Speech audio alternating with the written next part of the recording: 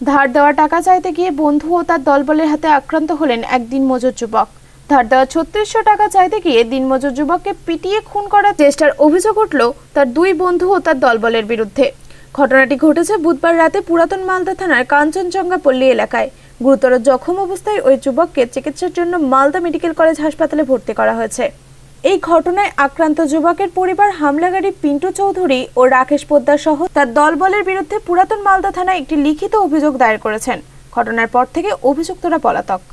Police সূত্রে জানা যায়, আক্রান্ত যুবকের নাম বিপ্লব সরকার। কাঞ্চনজঙ্ঘা পল্লী এলাকায় দুবছর আগে বন্ধু পিন্টু চৌধুরীকে ছত্রিশশো টাকা ধার দিয়েছিল ওই যুবক। কিন্তু সেই টাকা ফেরত দিচ্ছিল না তার বন্ধু। তারপর বুধবার রাতে বন্ধুর কাছ থেকে সেই টাকার দাবি করে ওই দিনমজুর যুবক। সেই সময় অভিযুক্তরা অতর্কিতে তাকে বাঁশ লোহার রড নিয়ে ওই যুবকের উপর হামলা চালায় বলে অভিযোগ। তাকে প্রকাশ্য রাস্তায় পিটিয়ে খুন করার চেষ্টা চালানো হয় বলেও অভিযোগ। অভিযোগের ভিত্তিতে ঘটনার তদন্ত শুরু করেছে পুরাতন মালদা থানার পুলিশ। ওখান গ্রামের পাঁচ চারটা ছেলে মিলে মারলো। কেন মারলো? ওই যে টাকার জন্যে।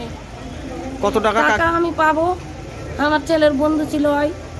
তো বন্ধু ছিল তখন টাকা দিয়ে দিয়েছে। আমি বললাম টাকা নিতে হবে না। তাও এরা বলছে কি যে না টাকা নিব। দিয়ে এবার জোর করে বলেছে ওকে দু একটা কথা বলেছে। তাই ওর খুব রাগ। ওই আরও দশ বারোটা চ্যাংড়া নিয়েছে আমাদেরকে হুমকি হুমকি দিয়ে গেছে যে শালাকে মারবো। টাকা নিবে টাকা কত টাকা দিয়েছিলেন? ছত্রিশশো টাকা। কতদিন আগে দিয়েছিলেন? আজ দু বছর পেরিয়ে গেল। কাকে দিয়েছিলেন? ওই বুলেটকে পিন্টু নাম যার আজকে কি করেছে আপনার ছেলেকে? আজকে ওই ওই রাতটাই আজকে আমার ছেলেরা সবাই একসঙ্গে মন্দিরে মন্দিরে সব নাচা কুদা করছিল।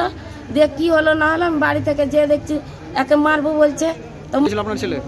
আজকে টাকার কথা বলেছে কি বলেনি জানি কিন্তু কি হলো না হ্যাঁ দিয়ে ওই তো ওই রাগটাই তো আজকে উঠিয়ে নিল। কিসের রাগ? ওই যে টাকার রাগ। টাকার রাগটাই উঠিয়ে নিল। কজন মেলে মেরেছে? তাও তো পাঁচ ছ জন ছিলই। মালদা থেকে দেবসিংহের রিপোর্ট। আনন্দ বার্তা